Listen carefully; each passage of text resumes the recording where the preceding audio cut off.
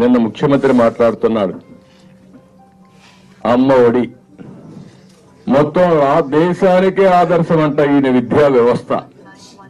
నాకు అనిపిస్తుంది ఎంత అబద్ధాలు చెప్పడంలో దిట్టంటే విద్యారంగం మొత్తం చిన్నాభిన్నం చేసేసాడు. ఫీజు రియంబర్స్మెంట్ లేదు. పీజీ చదువుకున్న వాళ్ళంతా సంఖ్య తగ్గిపోయింది. ఎందుకంటే వాళ్ళకి స్కాలర్షిప్ లేవు. కడాన విద్యా ప్రమాణాలు పూర్తిగా పడిపోయినాయి. ఇక్కడుండే వాళ్ళు తెలంగాణకి వెళ్ళి ఎంసెట్లో తొంభై వేల మంది పరీక్షలు తెలంగాణలో రాశారు.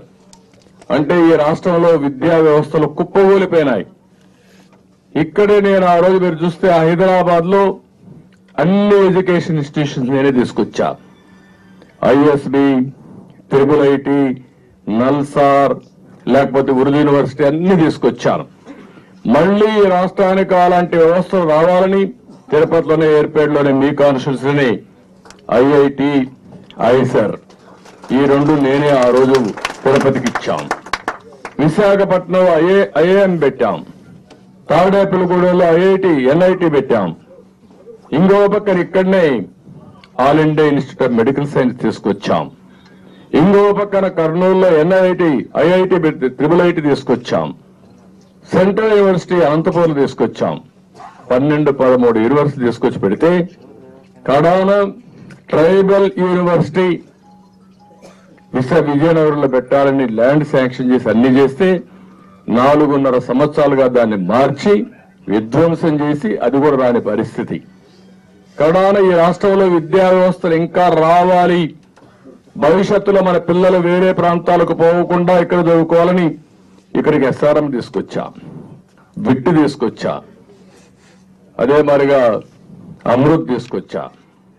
ఎక్స్ఎల్ఆర్ఐ ఏదో టాటా ఇన్స్టిట్యూట్ ది చారిటీలో దాన్ని తీసుకొచ్చాం. కడాన ఈ రోజు మీరు చూస్తా ఉంటే ఇక్కడ ఎస్ఆర్ఎంకు దారి లేదు. విట్టుకు దారి లేని పరిస్థితి. వాళ్ళు ఆ రోజు అమరావతి అంటే బ్రహ్మాండంగా ఉంటుందని వస్తే మొత్తం నాశనం చేసే పరిస్థితికి వచ్చాడు. విదేశ విద్య నాలుగు వందల కోట్ల రూపాయలు ఖర్చు పెట్టి ఐదు వేల మంది విదేశాలకు పంపించి ఇక్కడ ఉండే పిల్లల్ని పేద పిల్లల్ని బాగా చదివించేదానికి ఆర్థిక సహాయం చేశాం. ఇంకో పక్కన ప్రతి నెల ప్రతి సంవత్సరం జనవరిలో జాబ్ క్యాలెండర్ అన్నాడు. ఇప్పుడు డిక్లేర్ చేసిన జాబ్లెస్ క్యాలెండర్. ఏ ఒక్కడికి నాలుగున్నర సంవత్సరాలైంది ఒక్కడికి మీకు తెలిసి మీ ఊర్లో ఎవరికైనా ఒక్క ఉద్యోగం వచ్చిందో మీరే చెప్పండి. ఒక్కడికి ఉద్యోగం లేదు మొత్తం నాశనం అయ్యే పరిస్థితికి వచ్చారు. డిఎస్సి లేదు. మీరు ఇంకో పక్క చూస్తే అన్ని కూడా ఎక్కడికక్కడ కక్ష గీతం అది ఒక ఎన్జిఓ చారిటబుల్ ఇన్స్టిట్యూట్ అది. ఆ వాళ్ళు పెట్టిన కాలేజీ ఇక్కడ విశాఖపట్నంలో మాత్రం వాళ్ళ కాలేజీ పైన దాడులు జరుగుతాయి. తెలంగాణలో మాత్రం బ్రహ్మాండంగా రాణిస్తుంది. బెంగళూరులో మాత్రం రెడ్ కార్పెట్ స్వాగతం పలుకుతారు. ఏమనాలి సైకోని? ఇతను ఒక వ్యక్తి ఒక మనిషి నాకైతే అర్థం కావడం లేదు. ఇదే కాదు. ఇంకో పక్కన మీరు చూస్తే నారాయణ చైతన్య కొన్ని వందల లక్షల మందిని వాళ్ళందరూ కూడా ఐఐటీలు ఐఐఎంలు తయారు చేశారు. నేనే ఆ రోజు ప్రోత్సహించాను. ఒక పక్క ప్రైవేట్ విద్య ఒక పక్క ట్రస్ట్తో పెట్టేటి కానీ ఇంకో పక్క ప్రభుత్వం కానీ తిరుపతి యూనివర్సిటీ ర్యాంకుల్లో బ్రహ్మాండంగా తీసుకొచ్చాం. ఆంధ్ర యూనివర్సిటీ టాప్లో తీసుకొచ్చాం. ఈ రోజు అక్కడ కూడా విద్యా ప్రమాణాలు అన్ని పడిపోయే పరిస్థితి వచ్చి నేను నేను మాట్లాడుతున్నాడు ఈయన పెట్టిన కాలేజీలు చదివి అందరూ సత్యానాదేళ్ళ మారిగా తయారవుతారంట. నాకైతే ఆశ్చర్యం వేస్తుంది మాట్లాడే మాటలు చూస్తా ఉంటే. సత్యానాదేళ్ళు వచ్చాడు. ఎట్లొచ్చాడు?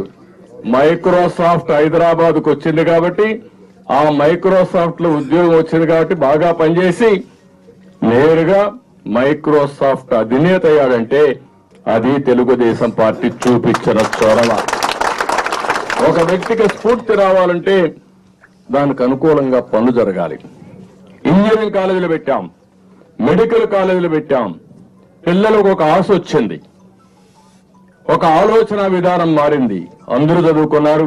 మీ ఇంట్లో కూడా పిల్లలు చూస్తే నేను గౌరవంగా చెప్పగలుగుతున్నా.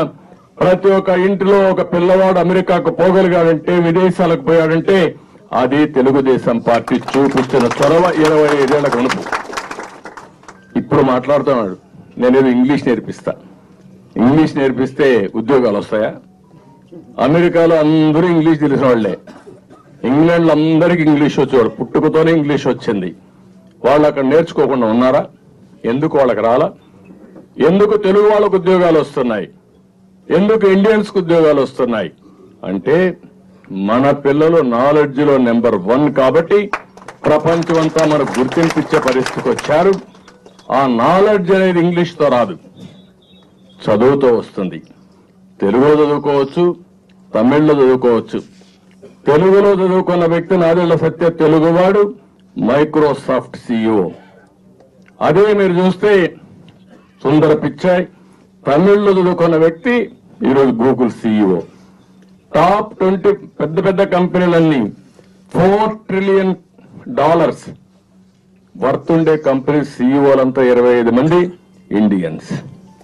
అది భారతదేశం యొక్క ప్రతిభ. అలాంటి మినిమం కూడా తెలియకుండా ప్రజల్ని మభ్యపెట్టే పరిస్థితులు అయితే ఉన్నాడు.